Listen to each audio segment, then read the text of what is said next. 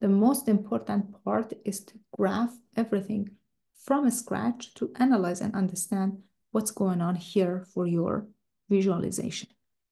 So here you have your xy axis, then you have your sine x, and please note that x ranges between 0 and pi over 4, so you don't have to go further.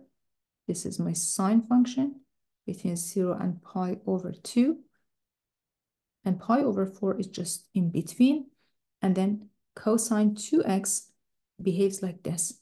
So for cosine, when x is equal to 0, your cosine is 1, and it hits x-axis at pi over 4, not pi over 2. So this part is pi over 4, right? And then you want to know what is the intersection between these two graphs? Because the top function is cosine 2x, and here you have your sine x. So we want to know at what value they intersect. What is this intersecting point here?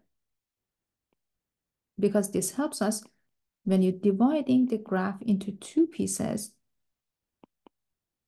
you need to know what is this intersecting point between them so you can set up your integrals correctly. So to find that, you need to set sine x equals to cosine 2x. But from pre-calculus, you know that cosine 2x is equal to 1 minus 2 sine squared of x.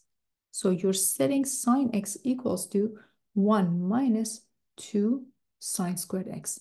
This is basically a quadratic equation. 2 sine squared x plus sine x minus 1 is equal to 0. This is basically writing it in the form that you have 2u squared plus u minus 1 equal to 0. You can write this in factored form as 2u minus 1 times u plus 1 and set it equal to 0. But your u is sine x. So if you substitute this guy back, you have 2 sine x minus 1 times sine x plus 1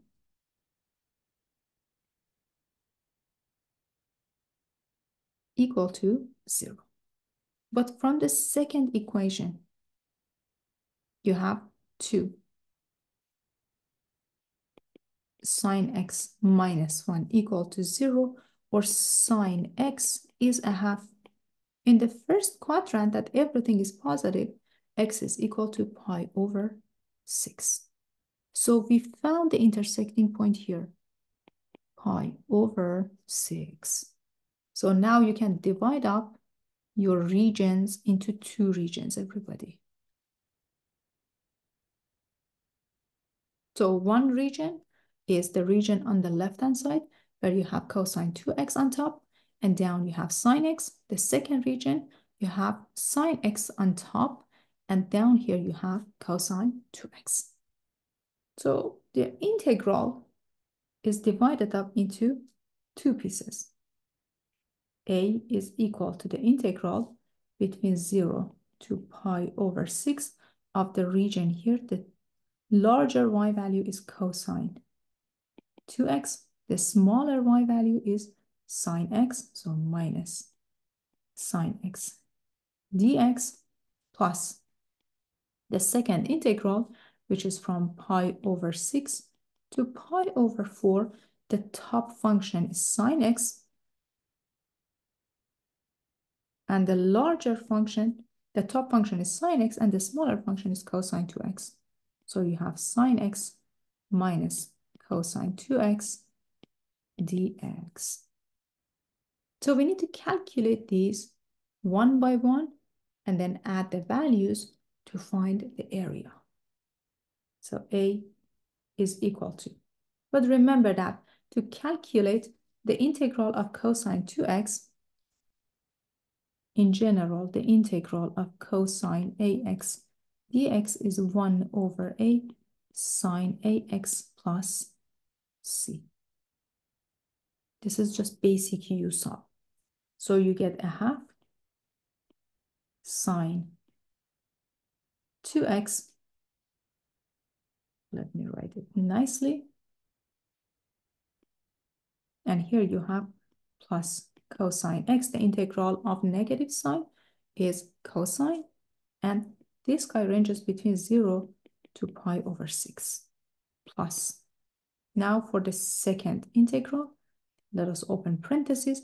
The integral of sine is negative cosine x and negative cosine 2x is negative a half sine 2x and x ranges between pi over 6 to pi over 4.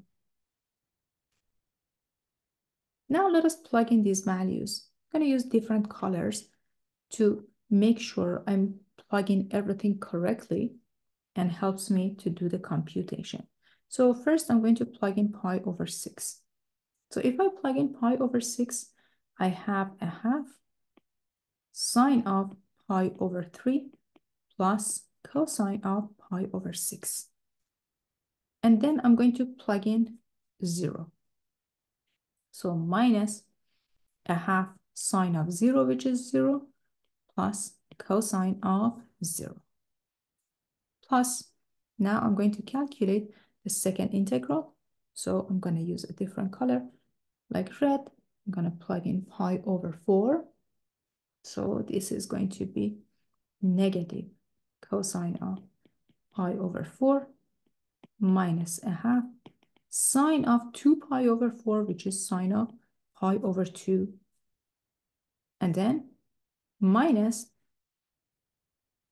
now I'm going to plug in pi over 6. So I get minus negative cosine of pi over 6 minus a half sine of pi over 3. Okay, perfect.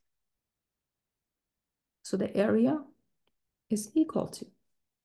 So here, if we do the computation, you have a half square root of 3 divided by 2 plus square root of 3 divided by 2. Let's close up the parenthesis.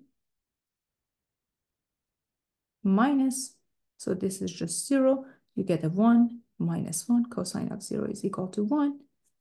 Then plus, let us move on to the red quantity. Here you have negative cosine of pi over 4, which is negative square root of 2 divided by 2. And this is going to be just negative a half because this is 1. Close up the parenthesis and minus the last portion, which we need more space for. Negative cosine pi over 6, which is negative square root of 3 divided by 2. And here you have negative a half square root of 3 divided by 2. Okay, perfect. So let us continue the computation. So A is equal to, you have, so if you take common denominator, you get 3 square root of 3 divided by, let me see. You get 5. Let me correct this. So we are taking the common denominator of 4 here between these. So we have square root of 3 divided by 4 plus 2 square root of 3 divided by 2. Then I combine it with the rest of this. But for now, let me just write them down. Negative 1 and then here. So you get negative square root of 2 divided by 2 minus a half. And when you combine these together, you get plus square root of 3 divided by 2 plus square root of 3 divided by 4. But do we have anything to cancel out? Well, here I have just these values, right? So let me move this up. My A is equal to, and this guy should be 4. And then, yes, now it makes sense. So this is 2 square root of 2 divided by 4. I'm just combining these four terms together. So you get 6 square root of 3 divided by 4, negative 3 halves minus square root of 3 divided by 2, which is 3 square root of 3 divided by 2 minus 3 halves minus square root of 3 divided by 2, but I can combine these two as well, am I right?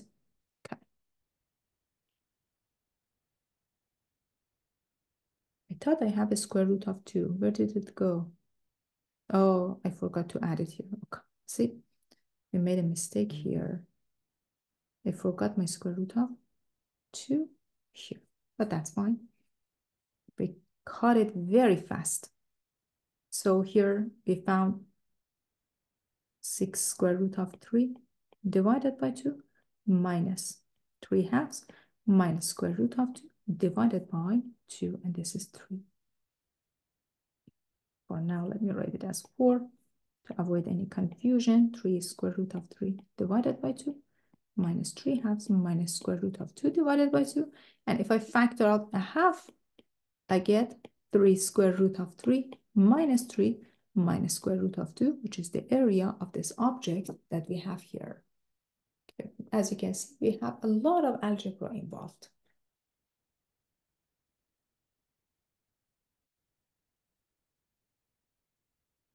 Let us make it a little bit smaller so you can see the whole page with the question